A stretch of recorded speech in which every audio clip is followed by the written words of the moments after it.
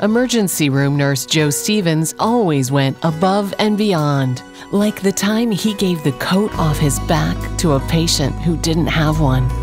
A short time later, Joe lost his own fight with cancer.